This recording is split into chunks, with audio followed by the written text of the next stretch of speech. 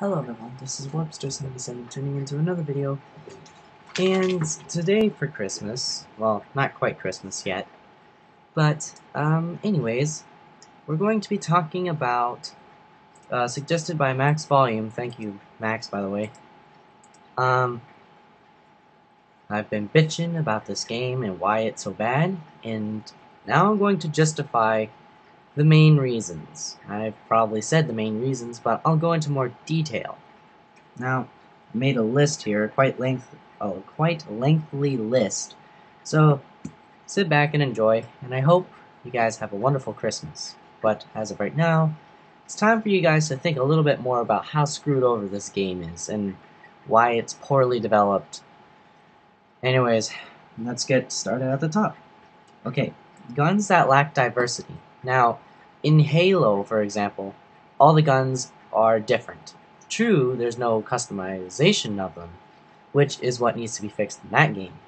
So, for example, Springfield, damage, all the snipers except the Lee, I mean the PTRS, do the same damage. That's easily said, and can be justified. I get it. It's supposed to be a one-shot kill, supposed to do a lot of damage. Makes sense. So, the fire rate, it is pretty quick. Now, the thing is, its iron sights are impressively accurate, which is good. Now, the scope itself is a bit inaccurate, which is totally fine. That's that's what so it's supposed to be. Their scopes are different. They themselves, though, are not. For example, the Mosin Nagant, it's supposed to fire really quick, for example, not not its actual fire rate, its uh, projectile velocity. Now it does, but Arisaka just beats it, and its accuracy is not lower. Its its scope accuracy is probably the most accurate thing there is, and the Mosin Nagant is not as accurate. Now, when I say it's lacking diversity, they all do the same damage, they all have the same amount of bullets, except for the Lee, which needs to be toned down. This gun needs to be toned down a thing or two. And anyway, they lack diversity. How to improve that? For example, with Springfield, that should be when it's iron sights. It should be. Oh yeah, that's another thing I'll get to in a minute. So when it's in iron sights mode, where you don't have the scope on, it should be a lot more accurate. Um, the car, give it more power because it's a higher cartridge.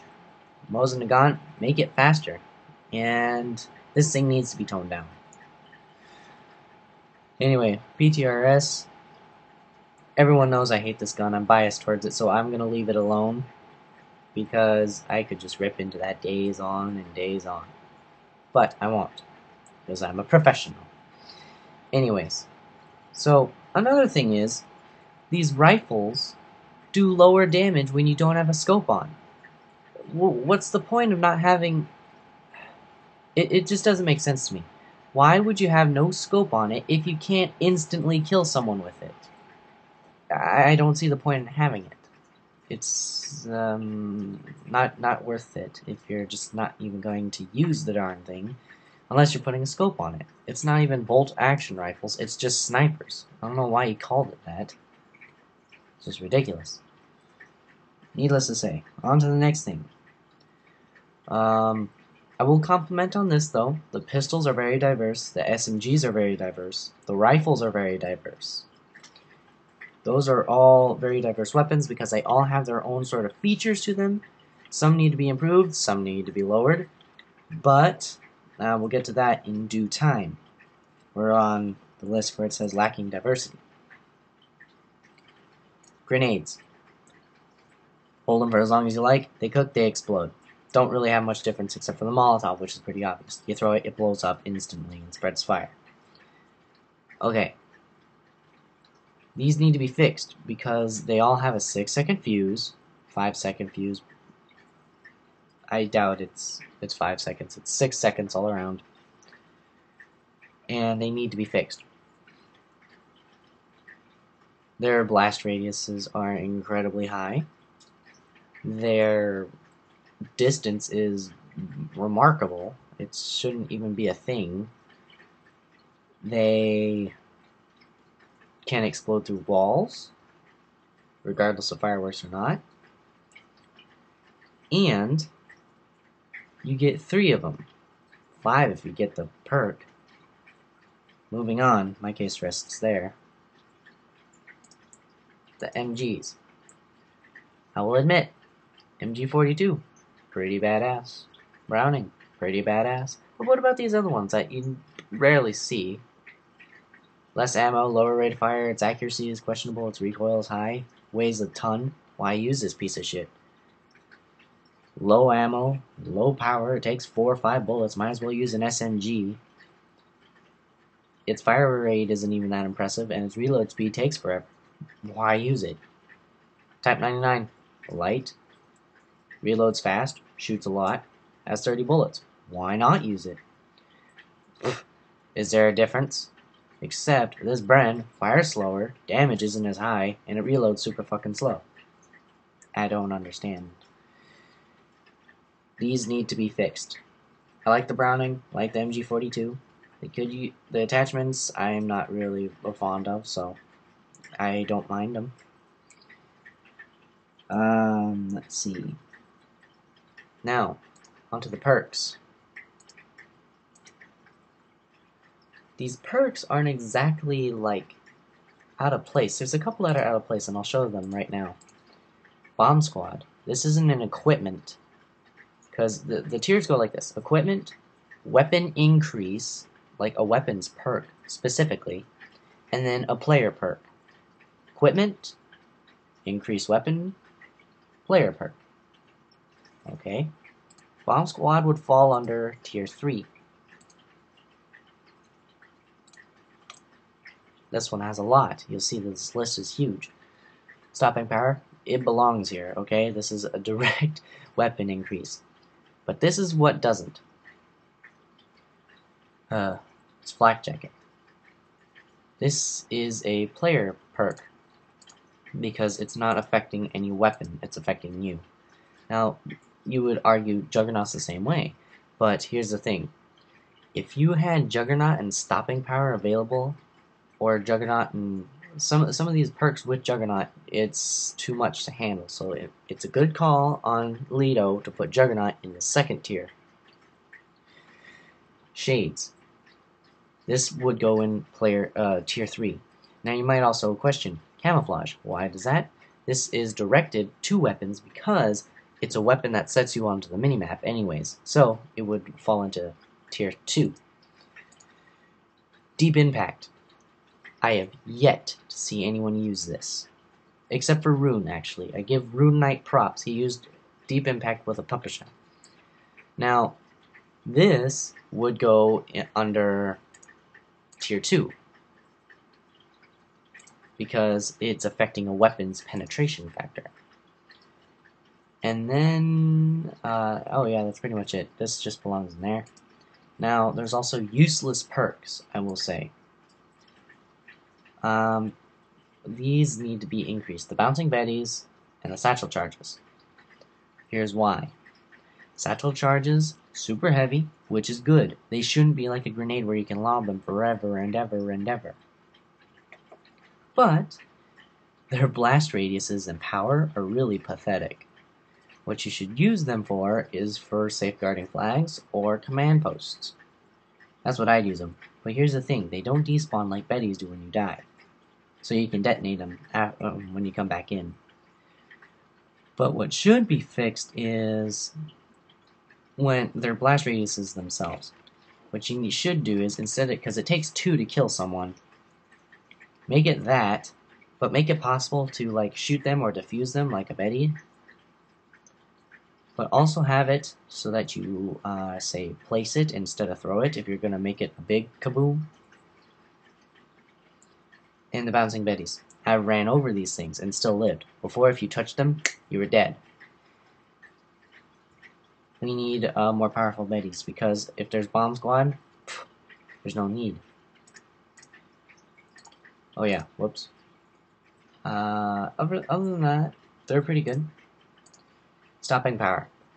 This thing is practically useless. It used to be really effective in the old one because you actually saw how much damage it did. Stopping power I recommend for people who use rifles, but it's pretty much useless, so using sleight of hand would what I would prefer.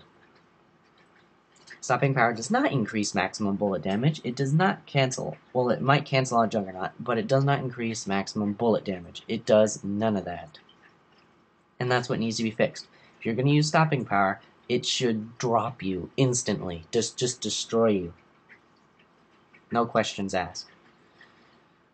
Um, fireworks. It's useless because the grenades are already massively explosive, and if you just want to add more onto that, Jesus, fireworks, it's not necessary, but people who do use it, pros, god damn, that thing will blow you a million miles away. There's no avoiding it. And it's ridiculous. It destroys flak jacket, which is what it's supposed to do. It makes sense. But that's not right. Fireworks needs to be used. It should be used to do what normal grenades should do. Grenades need to be toned down, period. I, I honestly like camouflage. Oh yeah, Shades, I forgot about you. You deserve, you belong in tier 3. Because, why would you put Shades in tier 2? It's sacrificing so much important things. It, I, it just doesn't make sense. Oh yeah. And, steady aim. Does not increase hip fire ability. Uh, you have the same amount of luck as doing it before. If you actually saw the crosshair shrink, which it should be doing, because it's all statistics, and Lito statistics are fails because it's kind of just it just goes. The game doesn't have a set strict pattern or rule because um, uh, when it comes to like SMGs and things like that. That's why people use quote unquote snipers and uh, grenades. Uh, moving on we need to talk about radar and its distance fixing. Now, it makes sense to have different levels of radar because some maps are really big, some maps are really small. So if you had a, a radar that was gauged for like long distance and you were on a close quarters map, it would show people on top of you all the time. Now, that sounds really genius, and it does work sometimes, but on certain maps it doesn't. And it doesn't tell you what it's gauged to. My best example would be, uh, what is it? Vendetta. Vendetta and, uh, what is it? Asylum. Those two, I can't tell if you're on top of me or if you're 30 feet away. Turns out either works because heaven forbid they get the distance right. It should just be leveled right above, I can't scroll out to show you, it should be like right above the radar to tell you what it's gauged to, like in Halo or, or in everything else. Uh, moving on. Let's see.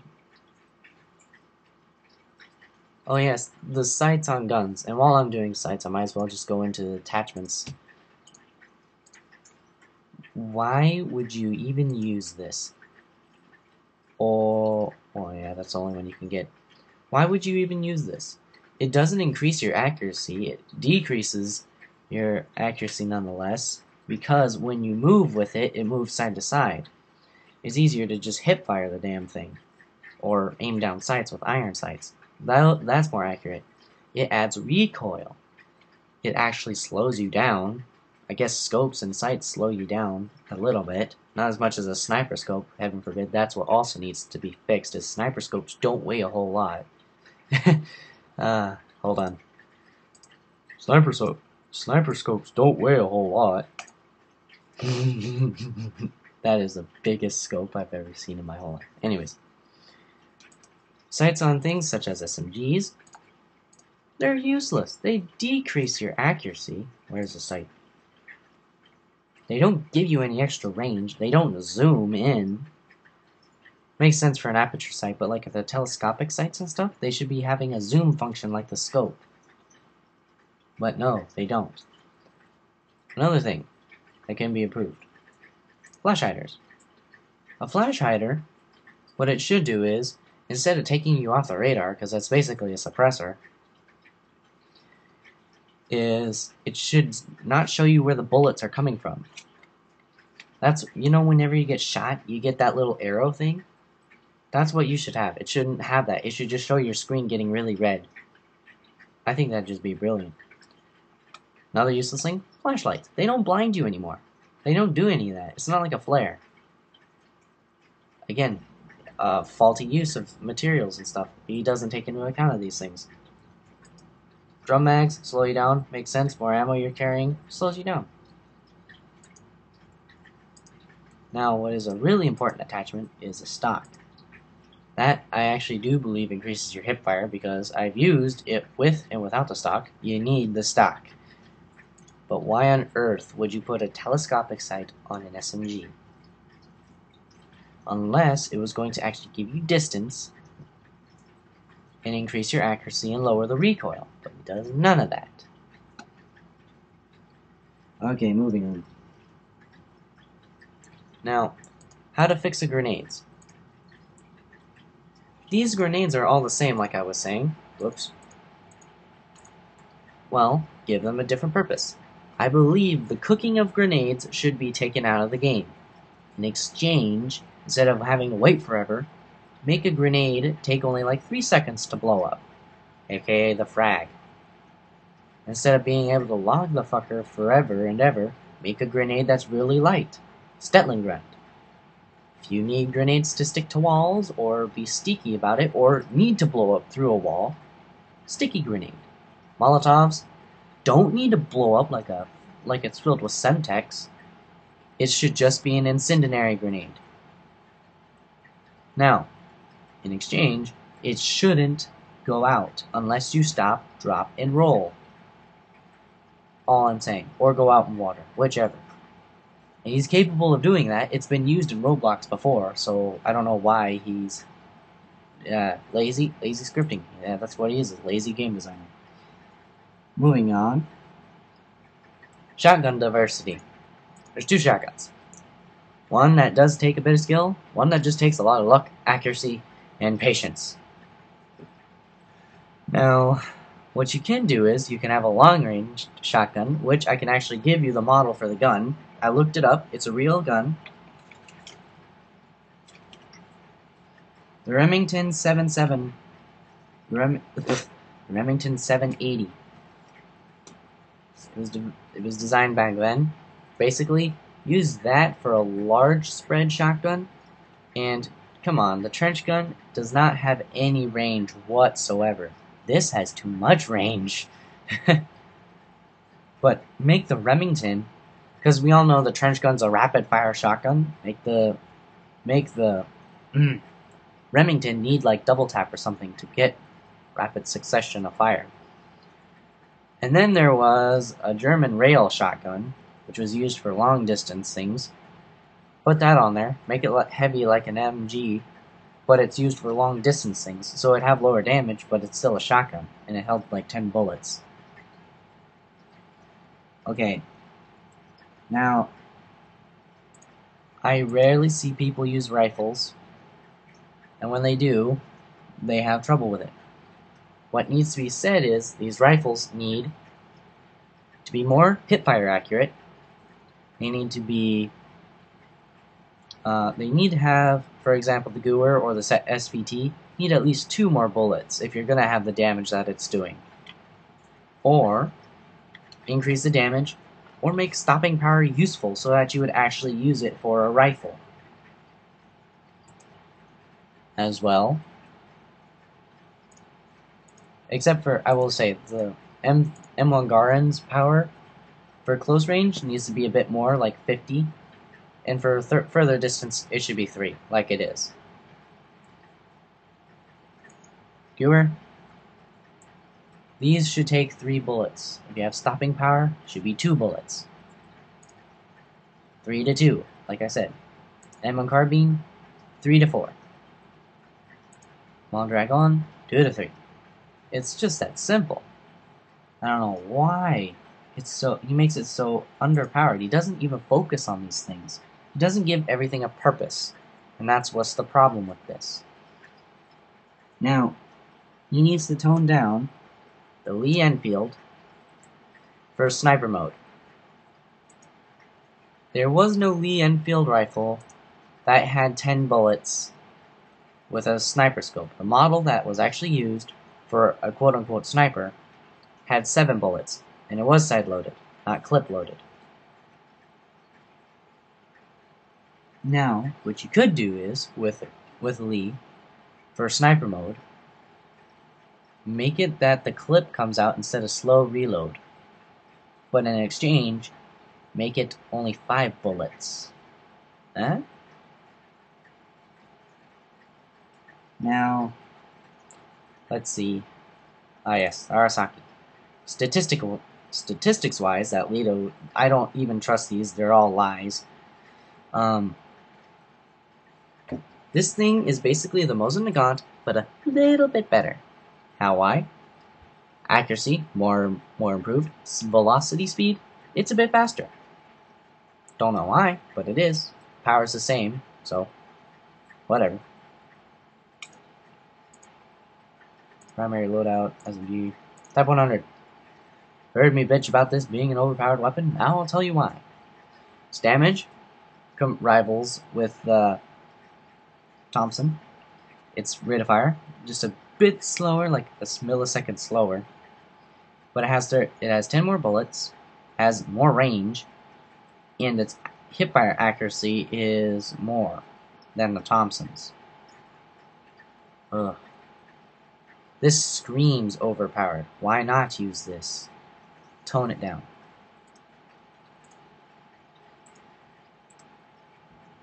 Type 99. Basically, it's a Bren with much faster rate of fire. It's a bit more accurate. Its uh, its range is impressive. All all the MG's range are impressive, with the bipod or not. And, and it reloads really quick. Don't need a sleight of hand for it. Why not use this? The only thing that I could see being different-wise is the MG42 and Browning, which basically have a ton of bullets, fire fast, it's an MG. But this is like an assault rifle on steroids. Now, for the Bren, what I could say is, keep the damage the same, but give it a bit more hipfire accuracy. Or vice versa, give this a bit more hipfire accuracy, but give this less recoil. You know? I don't see why this the he makes things so easy to choose between. Like there's no it's not a honor system. Um now that's all my bitching. Time to give some back, you know? The gameplay, in theory, is very well. That's why I play it. If I was just bitching about this game all day, why do I play it? Because the gameplay is good. Well, in theory. It can be better by these improvements. And then you'll have a perfect game, in my opinion. Of course, that's what it is, it's my opinion, so of course it would be a good game. But that's why we're here, is to see how many other people like this idea and how many people hate these current, um, wow, I have not used that at all and hate these uh, current fixtures that I'm complaining about as well. How many other people don't like this? Now, the idea of the map layouts, brilliant. I love the maps. I can memorize every one. But, do you guys remember Downfall? Ah, do you remember Train Yard? That might bring some nostalgic memories back for all the snipers. Do you remember the large uh, construction map with the green buildings and the gray buildings? Cargo map, I believe it was. And what was it? Give me a second.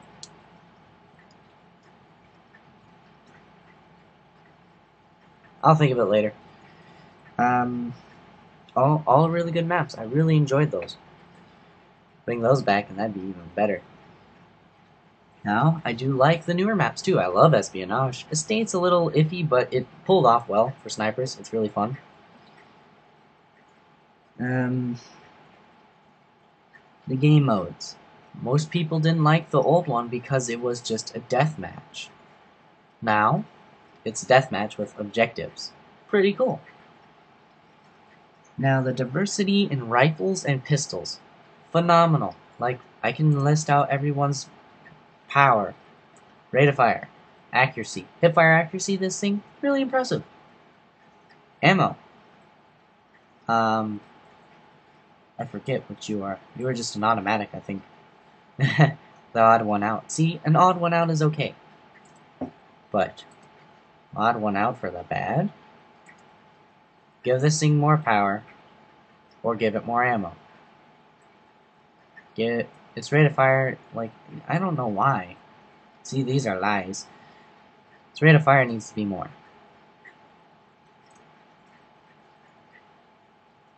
Um, pistols. Power. Average. Close up. Now, I forgot about this. This is basically a P38 with a bit more damage and a bit more range. Extreme power. but note, this is accurate. This has range. This does not. Or well, it has range. It's just its hip its hip fire accuracy is questionable.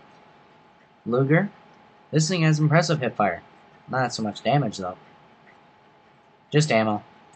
See, they have good things to them. It's just There are certain things that need to be fixed. And cool things that would be nice to add would be... Oh, I forgot about this. The objective things. I hate that the flag can take bullets, but it's also kind of handy because when you're running away, kind of gives you that second to react faster. So I guess it has a purpose. But um, I hate when the flag word itself gets in your way, or when it says A, C, and B for the bars to that you see them. That just gets aggravating for me, because then I can't shoot, and the flag is actually the flag poles actually have caught grenades from me lobbing them at them, and it's really just bothered me. It's ridiculous.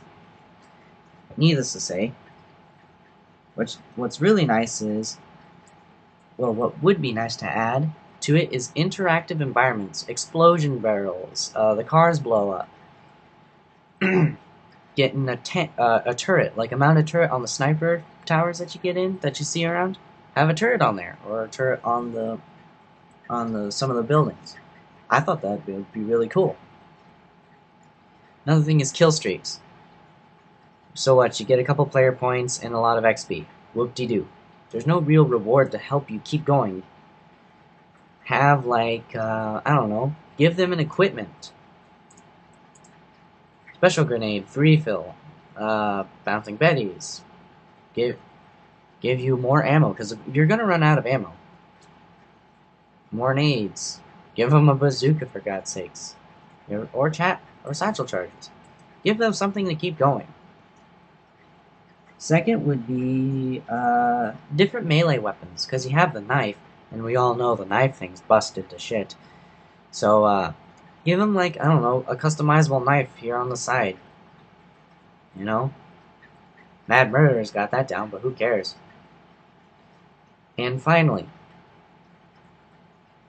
ammo crates. Just put a couple scattered around the map. He said that there was like, uh,